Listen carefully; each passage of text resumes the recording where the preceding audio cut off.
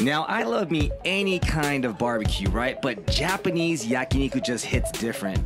Samurai Barbecue in Vegas serves up this boat of high quality Washugyu premium meats with superb marbling in all of their cuts.